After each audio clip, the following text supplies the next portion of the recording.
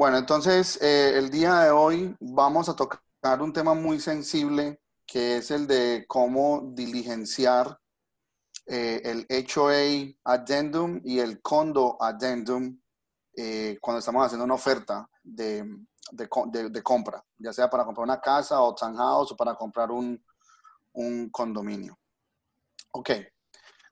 Antes, de, antes de, de, entrar a explicar el formato y, y, los puntos cruciales dentro del formato, quiero eh, apuntar su atención o dirigir su atención a estos términos.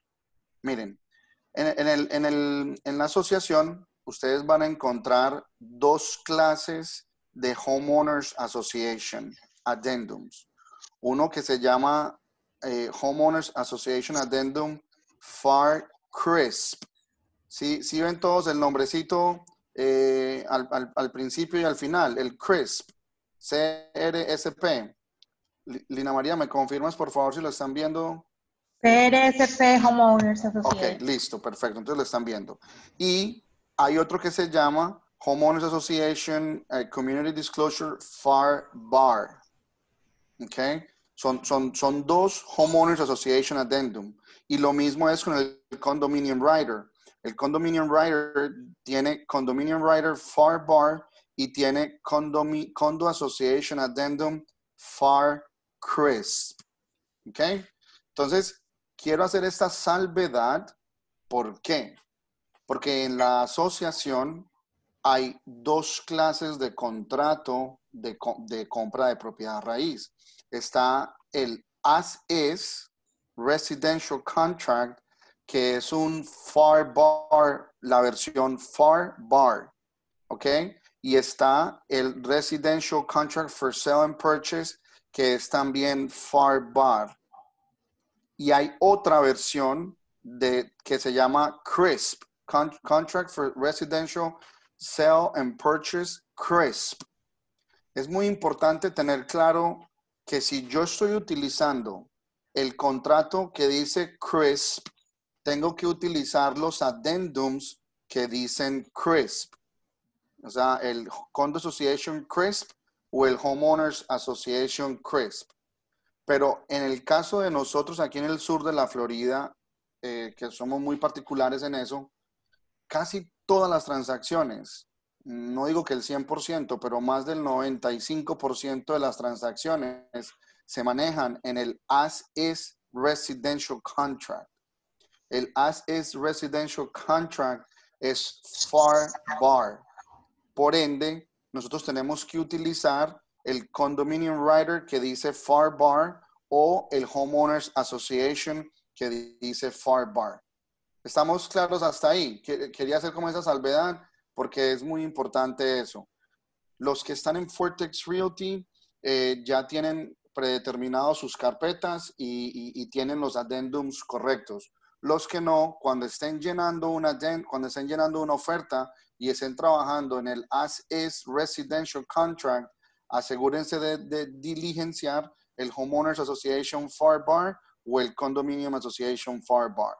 Bueno, entonces, como no vamos a trabajar con el CRISP, no es que sea ni más difícil ni más fácil, sino que eh, son formatos diferentes. Pero hoy vamos a trabajar con los que son FARBAR. Entonces, ahí están los tres documentos que necesitamos tener en, eh, claros para poder, para poder eh, tratar el tema de la clase del día de hoy. Ok, vamos a trabajar entonces aquí en el, en el contract, en el contrato, cuando estamos llenando eh, un contrato, olvídense de la funcionalidad de, de, de loop, solamente es para mostrarles aquí en la parte de abajo, cuando estemos llenando el contrato de compra, de venta del as es y la propiedad está en, la propiedad está en asociación, ¿cierto? Si es un condominio, asegúrense de llenar este condominium writer, seleccionarlo para hacerlo parte íntegra de la oferta. O eh, si es una, un townhome, asegúrense de seleccionar el Homeowners Association para hacerlo parte íntegra de la oferta. Y así sucesivamente, cualquier otro addendum que vayan, que tengan que usar en dicha transacción, asegúrense de marcarlo aquí para hacerlo parte íntegra de la oferta. Cuando yo me refiero a eso es para que cuando eh, si, si, si, no manda, si uno manda la oferta y, y el diseño no le devuelve uno todos los documentos firmados o en fin, todavía no está ejecutado. Entonces, bueno, quería pues como hacer esa, esa anotación ahí. Vamos a trabajar entonces ahora, que eso se hace en rap, eso no dura. Ah, come on. Esto es un entrenamiento rapidito. Ok, te vamos a hablar del Homeowners Association Addendum. En el Homeowners Association Addendum, eh, normal, está el nombre del comprador, del vendedor, el nombre del comprador, la dirección de la propiedad y, y las iniciales. Empecemos aquí. Colocar el, el nombre de la asociación hay que colocar el nombre de la asociación, eso no se deja vacío, hay que colocar el nombre de la asociación. Ok, aquí, estos campos que están aquí, por lo que ustedes más quieran, por favor, por favor, diligencienlo completo, no los dejen en blanco. Ok, una cosa es eh, omitir información por error o por negligencia y otra cosa, otra cosa es que haya que cambiar una información. Entonces, en el parágrafo 3 dice, está usted, usted está obligado a pagar assessments. ¿Qué son assessments? Una cosa, hay dos conceptos. Uno es el assessment y otro es el special assessment. El assessment es el costo, el costo mensual de la asociación o, o homeowner o HOA dues o, como lo quieran llamar, la mensualidad, como la quieran llamar, ese es, ese es el assessment. Y el special assessment es un costo adicional por una actividad específica que se hizo dentro de la asociación. Entonces, si, la, si, el, el si el assessment o la mensualidad son 100 dólares, escribamos 100 dólares.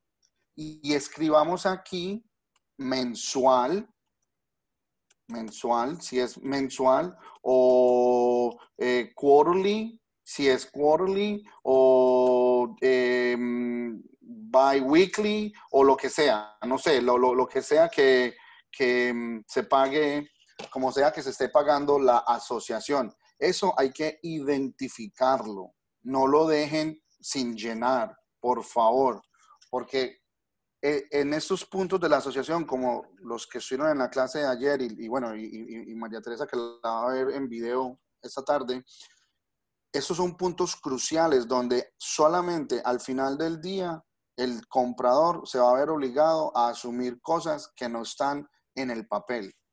Y si yo, como representante del comprador, no tome las precauciones necesarias para proteger a mi comprador, mi comprador me puede demandar. Punto, o sea, así de sencillo. Me, puede demandar por los daños y perjuicios ocasionados en la transacción. Ok, eh, aquí dice, eh, you would also be obligated to pay any special assessment. Miren que aquí dice special assessment. Entonces aquí es donde de pronto ha, causado bastante revuelo este tema. Aquí hay que colocar cuál es el special assessment. Ok, ¿qué sucede? Si no es, como no está en el listing agreement, no está en el MLS, muchas veces no está, o, muchas veces esa información no sale, yo coloco cero. O sea, cero special assessment por mes. Yo coloco cero. No lo dejo en blanco. Yo lo coloco en cero.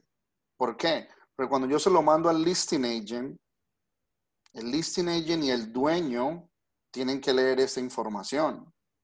Y si esa información está incorrecta o ellos querían tapar información, pues van a tener que cambiarlo. Pero si yo lo dejo en blanco y no lo lleno, pues ellos no lo van a, no lo van a, a corregir. Y después es de quién es la culpa, es que tú no me dijiste, es que tú no me preguntaste, en fin. Entonces, si no sabemos o no dice nada en el MLS, por seguridad, coloquen cero. ¿Ok? Y lo mismo en ese número 6. Eh, en varias asociaciones em, existe la figura de que hay, ah, son, eh, la asociación o la, o la comunidad hace parte como de una comunidad mayor. Entonces, cada comunidad pequeña tiene su assessment, su, su HOA normal, pero resulta que hay un clubhouse más grande que cubre o beneficia o sirve a, a varias comunidades y hay que pagar por ese clubhouse también. Entonces, ahí es donde entraría esta parte de aquí si hay una segunda administración. No, no primera administración, no un assessment más el special assessment. No, es el assessment y otro fee de em, membresía o de lugares recreacionales o cosas así. Si no lo dice en el, en el, vuelve y juega, si no lo dice en el, en el, en el MLS, en el listing, yo le coloco cero también. No lo dejo en blanco, lo coloco en cero. ¿Ok? Y le escribo per month. O sea, no dejo espacios en blanco. No dejo espacios en blanco. Es muy, sencillo. Ya vamos a terminar el formulario del hecho A, eh, porque es muy sencillo, pero es muy importante entender el por qué esto se tiene que hacer. Ok, vamos aquí a esta parte y em, em, es donde más importancia tiene el utilizar, el utilizar el FAR bar, el, el, FAR bar addendum, ¿ok? ¿Por qué hay que utilizar el FAR bar addendum, el HOA? Aquí en la página 2 del addendum de, del Homeowners Association, dice, si la asociación tiene que aprobar esta transacción o tiene que aprobar al comprador, este contrato es contingente a la aprobación de la asociación en tantos días. Pongámosle 25 días. O sea, la asociación me tiene que aprobar en 25 días. Si yo no coloco nada, por decir algo, porque pues yo puedo colocar 25, puedo colocar 30 días o, o, los días que yo quiera, pero si yo no coloco nada, dice automáticamente el contrato dice o cinco días antes del cierre. Ok, escuchen esto, que yo sé que no muchos de ustedes lo saben, o muy pocas personas lo saben. Si yo coloco, si el, yo no coloqué nada aquí, yo lo dejé cinco, a cinco días antes del cierre. ¿Ok? Resulta que eh, el cierre es el día 15 del mes, para que sea fácil de entender el concepto. El cierre es el día 15 del mes el día 10, serían cinco días antes, el día 10 mm, ya me debería de haber llegado la aprobación de la asociación. Pero resulta que no me llegó el día 10, ni me llegó el día, faltando cinco días. Faltan cuatro días ya, ya es el día 11 y no me ha llegado la aprobación de la asociación. Y yo como comprador eh, estoy en una situación eh, compleja donde ya eh, me di cuenta que de pronto voy a perder el trabajo en dos semanas o en un mes lo voy a perder o ya no quiero la casa, yo me puedo salir del contrato independientemente que se haya vencido el periodo de inspección, independientemente de que no se haya mandado el approval letter, independientemente de cualquier cosa, si se usa el FAR Bar Homeowners Association, está esta cláusula que es súper poderosa, tanto para proteger al comprador como para perjudicar al vendedor, dependiendo a quien yo esté representando. Miren lo que dice aquí. If approval is not granted within the stated time period above, buyer may terminate this contract and shall be refunded the deposit. Esta palabrita shall be es una orden. En, en, en, en los términos legales es una orden. No, no, ahí no entra a, hacer, a haber discusión de absolutamente nada. Por eso por eso, eh, si ustedes están representando al vendedor, tienen que asegurarse de que esto se cumpla. Y si ustedes están representando al comprador, estén pendientes también de esta cláusula. Si la quieren llenar o la quieren dejar en blanco, ya es decisión de ustedes, porque dos, estos dos campitos, estos dos campitos eh, se, se, predeterminan con, con, lo de que if left blank, eh, son cinco días y aquí también. Entonces, eh, tengan claro qué significa esta cláusula que está aquí. Y, esta otro, y este otro espacio que está aquí dice que within, o sea, dentro de X días, si yo lo dejo en blanco son cinco días, dentro de cinco días después de el effective date, el seller shall initiate, o vuelve y juega, es un mandato, shall initiate um, the approval process with the association. Entonces todo el mundo pregunta, pero ¿cómo así? No entiendo esa pregunta. Porque el vendedor tiene que iniciar el proceso de, mm, de aprobación. Es porque lo que está diciendo el contrato es que muchas asociaciones, en especial las de los condominios, casi todas las de los condominios, pero en, en, los homeowners associations, muchas asociaciones no trabajan con los compradores directamente, sino que todo tiene que ser a través del el vendedor mismo.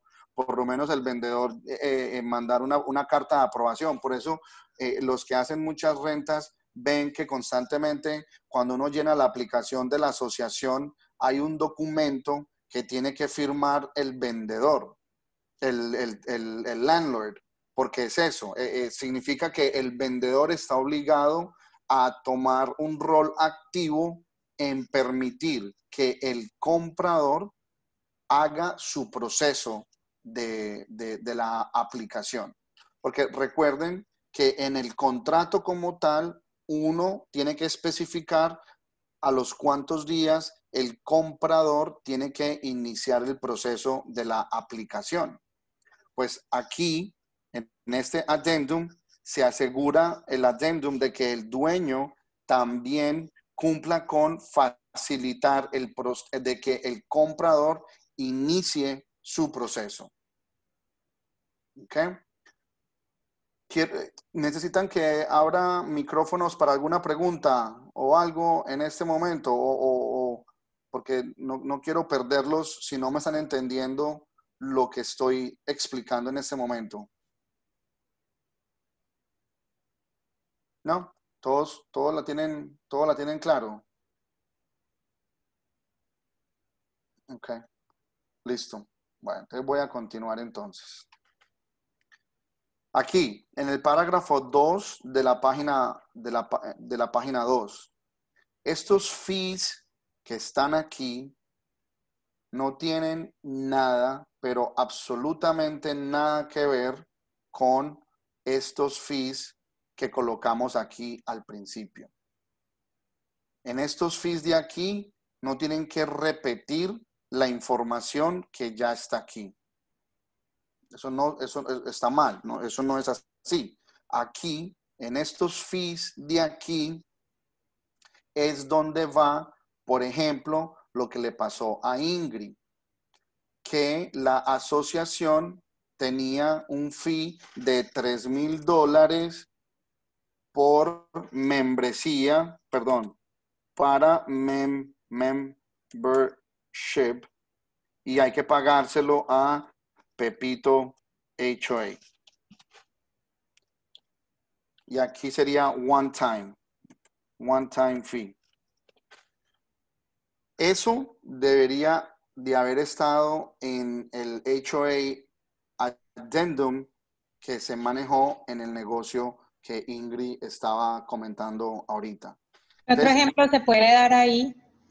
Em, casi siempre, o sea, casi siempre es eso de las membresías o de los clubes. E, e, eso no es de, o lo de los clubes. Por ejemplo, aquí en el Doral hay unas, hay en, en la 102, es el sector de la 102 con la 58 que está el club de golf, ¿sí? ese, eso ahí no, no, no necesariamente va aquí, sino que va aquí, porque es un club de golf como tal. Y hay una membresía mensual que hay que pagar a ese club de golf para que los dueños están obligados a pagar. Entonces, eso iría aquí. Cualquier otro costo adicional de, de, del vivir en esa unidad donde estoy viviendo. Ok. Miren aquí esta parte, la parte B de los fees. La parte B de los fees. Si un special assessment existe eh, para el día del effective date del contrato o, unas, o un assessment ha sido, va a ser impuesto después del effective date del contrato y antes del cierre, todos estos eh, assessments deben de ser pagados por el vendedor antes del que le correspondan antes del día del cierre. Dice aquí, si yo no chequeo uno de estos dos, si yo no chequeo el seller aquí, significa que el comprador, then buyer, shall pay installments due after closing date.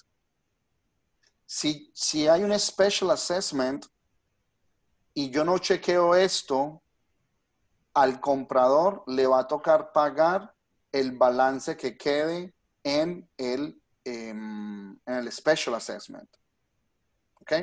Entonces, aquí es, donde, aquí es donde yo como asesor comprador, asesor de, asesorando a mi cliente comprador, voy a proteger a mi cliente de, de dos formas. Número uno, aquí arriba donde dice Special Assessment, este que dice Special Assessment, yo lo voy a colocar en cero. Pero de todas maneras, para evitarme cualquier, cualquier duda a cualquier cosa, yo aquí siempre voy a colocar seller, aunque supuestamente no haya ningún assessment. ¿Por qué? Porque muchas veces, muchas veces, no es necesariamente mala fe de los vendedores ocultando información de los special assessments, sino que muchas veces los vendedores nunca van a las reuniones de la asociación, no se dan cuenta de qué está pasando en la asociación, tienen de pronto un direct deposit o tienen, eh, no revisan la, correspondencia o en fin, y no se dieron cuenta que se implementó un special assessment. Entonces, yo como asesor representando al comprador, independientemente de si, eh, o sea, si yo sé que hay un special assessment, pues yo lo voy a colocar aquí, que lo pague el vendedor. ¿Sí? Pero si yo no sé, yo coloco cero aquí arriba, con mayor razón voy a colocar aquí cero, voy a colocar aquí que lo, que lo pague el vendedor. Digamos que el vendedor leyó o el realtor, el listing agent leyó, se dio cuenta de eso y van a decir, uy, no, espérate un segundo, lo que pasa es que, ¿sí? Entonces, yo aquí, como no hay nada, como yo no sé qué fees hay adicionales o en fin, yo aquí voy a colocar 00, 00, 00 y 00. O sea, ahí no hay informa no hay, no hay ningún costo. Si el listing agent no me dijo nada, entonces eso es culpa del listing agent o culpa del dueño, pero mi, mi cliente, mi cliente va a estar protegido con respecto a eso. ¿Ok? Ahora, vuelvo a este punto de aquí, que es un, un punto bastante neurálgico. ¿Qué sucede, eh, compañeros de la causa? Em, yo voy a poner aquí que em, el, seller es el que va a pagar el va a pagar los el special assessment, ¿ok? Pero no es en muchas en muchos casos eso es algo de negociar, de que el comprador dice no, yo asumo el special assessment, no hay problema. Eh, o cuando en el listing de una vez está eh, el disclosure de que hay un special assessment y ya el, comprador sabe que la propiedad se está, se está vendiendo con el special assessment y lo va a asumir.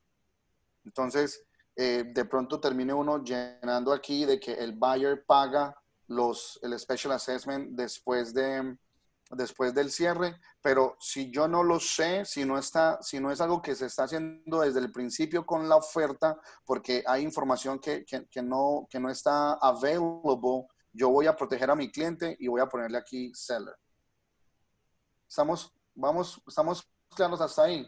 Es como están todos en mute. No, no sé si alguien, alguien tiene alguna pregunta. No, Hickman dice que todo bien. Ok. Ah, eso, me pueden poner el dedito para yo saber que todos me están como, como, como siguiendo. Ok. En la, parte, en la parte de abajo, donde están los botoncitos, hay una carita que se llama reacciones. Ah, bueno, ahí ya todos los bien. Eso, ahí están poniéndolo. Ok. Muy bien. Y quiero terminar esta parte aquí, donde dice que eh, colocarla el nombre de la asociación, el contacto de la, en la asociación, el teléfono y el correo electrónico. Eso no es obligación que lo llene nadie, ni, el vendedor, ni el comprador, pues ni el, ni el listing agent, ni el buyer agent. Pero si yo estoy representando al buyer agent, yo quiero que mi vida, mi vida sea más fácil asegurándome de que el listing agent me llene esta información. Porque o me la llena de una vez cuando, cuando me manda la oferta aceptada o eh, la compañía de título me va a estar llamando dentro de una semana a pedirme el teléfono y el contacto de la asociación. Y entonces ya, sí. Qué pena, yo creo que Henry tiene una pregunta. Voy a, a, darle al mute. Ok. Henry, ¿puedes hablar? No, está todavía con, en mute. Bueno. Bueno, dale. Ok, entonces, em, uy, ¿qué pasó aquí? ¿Qué son esas rayas? No sé, no sé qué son esas rayas. Bueno, a ver, yo me, yo me saco aquí un segundo, no, no, guardar nada. Ay, yo no sé qué es eso. Ah, no, ya, ya se va a quitar. Vuelvo, vuelvo al homeowners aquí. Ok, entonces estábamos aquí en, en, en, en esa, esa, información yo la voy a necesitar. Entonces, ¿cómo yo no la pido de una vez y obligo al listing agent a que en medio de la negociación, de la emoción, de oferta aceptada, en fin, todo eso, que de una vez me haga el disclosure de esa información para que para mí sea más fácil eh, darle esa información a la compañía de título para que la compañía de título haga su trabajo y pueda pedir entonces que el staple letter y pueda pedir cualquier otra información que necesitemos de la asociación. Es más, el mismo loan officer me va a pedir a mí esa información. Entonces, yo, si estoy representando al buyer, de una vez asegúrense de que el listing agent les coloque esa información ahí. Hay una pregunta. Okay. Que si uno como representante del buyer debería hablar con la asociación para validar esa información. Uno debería, sí, podría también. De que te respondan, no lo sé. Eh, hay, asociación, en, si estamos hablando de un condo association, difícilmente te van a responder. Si estamos hablando de un em, homeowners association, de pronto sí te respondan eh, parte de la información, o si no, cuando el comprador ya está bajo contrato, que lleva la aplicación a la asociación para presentar la aplicación a la asociación, el comprador está en la obligación y derecho de pedir toda esa información. Y la asociación tiene que responderle al, al, comprador. Pero cuando es uno como realtor, muchas veces a uno eh, lo pasan por la galleta. Bueno, no, no, nos, no nos ponen atención. Bueno, em, ¿algo más? ¿Alguna otra pregunta para pasar entonces al del condominio? Por ahora no, pasemos. Ok, listo. Entonces pasemos rápidamente al del condominio, que es casi lo mismo em, con, con, una, pequeña, una pequeña adición. Ok, entonces, eh, vuelve y juega aquí el tema de si se necesita que el contrato o el comprador sea aprobado. Entonces los cinco días para, o los 25 días, o los 20 días, o los 30 días, o en fin. Como les digo, si lo dejan en blanco, eh, no pueden dejar en blanco este punto. Este punto que está aquí, tienen que especificar y en todos los condominios, en todos, es esta primera que the association approval of buyer is required. No, no, no cono- bueno, puede que haya uno que no sea required a la hora de comprar, no falta, pero casi todos los que yo he hecho, eh, o todos los que yo he hecho mejor, eh, requieren la, la- la aprobación de la asociación.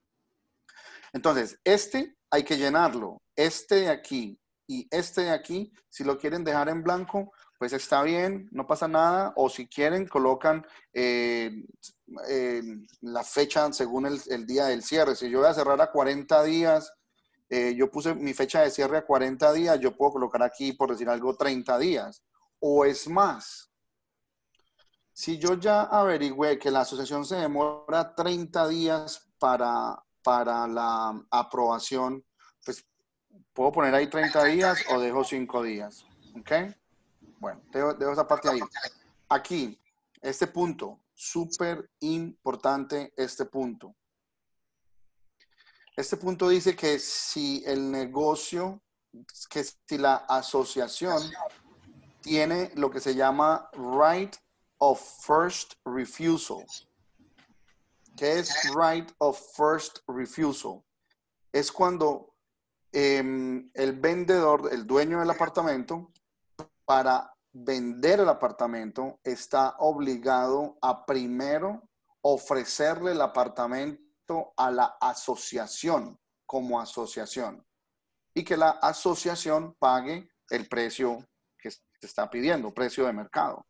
La pregunta es doble, porque el right of first refusal lo tienen muchas condo associations, donde es para la asociación aquí o es también para members of the association. Me explico. Hay muchos condominios donde en los bylaws de los condominios exigen que cuando un, dueño de- del condominio quiera vender su apartamento, tiene que ofrecérselo a la asociación o a otro dueño de apartamentos dentro de ese condominio. Primero, y entonces tenemos que tener claro este punto. Este punto hay que preguntárselo a el listing agent y el listing agent tiene que saber si eso está o si eso no está. Pero esto es lo que eso significa. La asociación tiene el derecho o no tiene el derecho.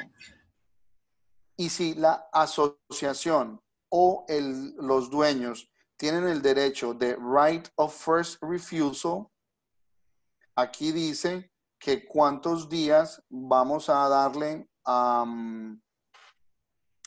al- al- al- no, no, cuántos días vamos a darle al, pues cuántos días el comprador y el vendedor van a tener para someter la documentación a la asociación. Y cuando, cuando el listing agent te dice que no sabe, porque seguro te va a decir que no sabe. Entonces, yo, yo se lo mando vacío. Esta parte de aquí del condominio, yo le mando esto vacío cuando mando la oferta. Yo no lleno esto. Pero yo hago que cuando el listing agent me va a devolver la oferta, ellos me diligencien esto. Eso es lo ideal, que el, que el, que el listing agent me diligencia esto. Para uno darle tiempo al listing agent de que si no sabe la respuesta, yo no aguantar la oferta eh, porque no tengo esa respuesta. Yo, ne- yo necesito ser muy proactivo con, la oferta. Entonces yo, voy a mandar la oferta de una vez con el, con condo writer, pero yo le hago el énfasis al listing agent de que necesito que me responda estas dos preguntas de aquí. Okay. Aquí está lo mismo de ahorita, el, el, el, el, associate- el assessment, el special assessment y lo de la el recreation, eh, lo mismo. Y miren lo que dice aquí con respecto a lo del special assessment. dice seller seller represents that seller is not aware of any special or other assessments assessment that has been levied by the association or that has been an item on the agenda or reported in minutes of the association within 12 months prior to effective date. Eso lo que está diciendo es de que el vendedor se compromete, está, está jurando bajo juramento, valga la redundancia, de que ni hay un special assessment in place en este momento, ni que hay uno en, en, el proceso de ser eh, impuesto eh, como a los, a los propietarios. Entonces, si aquí no llena nada, es porque no había nada. Y yo le voy a colocar aquí que seller va a pagar el, el special assessment si es, que, si es que hay uno, excepto si está, vuelve y juega, si está dentro de el, listing, y ya, es, ya está disclosed de que hay un special assessment, pues entonces ya, ya debimos de haber negociado esa parte con, el comprador y vendedor. ¿Ok? Y aquí, aquí es la otra parte crucial del el condo. Eso no lo tiene el Homeowners Association. Aquí dice que el comprador eh, entiende que ha sido, tengo que leer en inglés porque me enredo en español. The buyer hereby acknowledges that buyer has been provided a current copy of the declarations of condominium. Que el, el, el comprador entiende, que acepta que ya recibió la copia de la, de las, de los, de la, de la reglamentación del condominio. Si yo marco esto, ojo con eso, si yo llego a marcar esto y eso es mentira, o sea, mi cliente no ha recibido una copia de, los bylaws de la asociación y dentro de esos bylaws aparece de que el comprador tiene que pagar 3 mil dólares por membership fee y ya mi cliente no se puede salir del contrato por eso porque ya se marcó de que ya lo había recibido. Adivine sobre quién cae esa responsabilidad. Sobre este pechito. Entonces, a menos que sea verdad, yo voy a marcar esta opción de aquí. Que este contrato es eh, voidable, se cancelará si el comprador entrega una notificación por escrita al, al vende, a los a, a los compra, a los vendedores dentro de los tres días después de haber recibido ese, esos disclosures. ¿Ok? Entonces, esa parte, cuando estén trabajando con un condominio, siempre llenen esta parte, a menos que por algún milagro les hayan entregado por adelantado los bylaws del, del condominio, de, de, los condominios, lo cual casi nunca pasa. Bueno, nunca pasa. ¿Ok? Preguntas hasta ahí. Es que yo sé que, yo sé que esto es como confuso y, no quiero, no, no, no, yo quiero que me entiendan de verdad eso. Es muy fácil, es muy fácil, pero, pero es importante entender el concepto y eso es lo que yo quiero con esta clase, que me entiendan el concepto para que puedan eh, llenar las cosas. Te perdimos, Giovanni.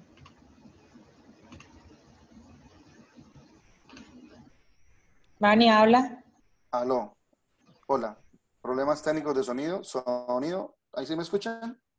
Sí, no, es que puse, si alguien quiere hablar, lo puede hacer eh, para hacer preguntas por micrófono más fácil. Ah, ok. O sea, le abriste los micrófonos a todos. Sí, o sea, si okay, alguien perfecto. quiere hablar, lo puede hacer. Perfecto, perfecto. Sí, entonces, eh, eh, o sea, eso es muy fácil, pero, pero es importante tener claro el concepto para que le puedan dar el manejo correcto a ese tema.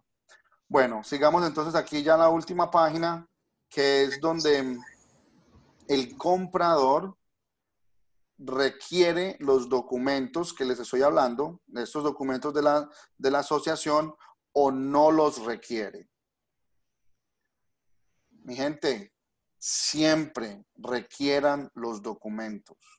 siempre, siempre, siempre, siempre requieran los documentos. Cuando estamos lidiando con condo associations, hay muchas variables eh, y, los normalmente son unos paquetes así gigantes de información de 70, 80, 100 hojas de, de información que es importante darle la oportunidad al comprador de que, de que los lea. Ahora, no, es que yo no lo pido porque el comprador me va a hacer que los lea yo como realtor y que yo le explique. No. Eh, eh, nosotros no somos abogados para explicarle un documento legal, excepto el contrato de, la asociación o, estos documentos del, del, Homeowners Association. Eso sí, yo tengo la obligación de, de explicarlo porque yo soy un realtor y yo soy licenciado para explicar estos documentos, pero no para explicar documentos legales que no sean los de la asociación. Entonces, el, comprador tiene que em, asumir la responsabilidad, hable inglés o no hable inglés, tiene que asumir la responsabilidad de leer la documentación y asumir la responsabilidad por lo que dicen los documentos. ¿Okay? Cuando el comprador recibe los documentos, este documento se tiene que actualizar. Y aquí se tiene que colocar la fecha en la que el comprador recibió el documento para que empiecen a contar los tres días de poderse salir del contrato o no. Eh, ya aquí es el número del parqueadero y el número del garaje y en fin. Y ya, eso es todo. E, e, e, eso es muy cortico, la verdad, pero, pero los conceptos son muy importantes de que los, de que los manejen y los, y los tengan claros para que no, no se metan en problemas con, con esto de los, de los addendums. ¿Ok? Bueno. Eh, listo, terminé, terminé la, el entrenamiento. Como les dije ayer, era un entrenamiento muy cortico, pero, pero muy, muy específico con esto de, las, de, los, de los addendums y de, de lo, del special assessment.